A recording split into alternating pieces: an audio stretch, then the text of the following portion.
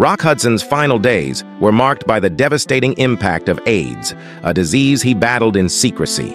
In October 1985, at the age of 59, Hudson passed away at his home in Beverly Crest. Two days before his death, he collapsed in his room at the Ritz Hotel in Paris while seeking treatment. Hudson's struggle with AIDS was a closely guarded secret, and he faced fear and shame as he grappled with how to disclose his diagnosis to his ex-lovers and the world.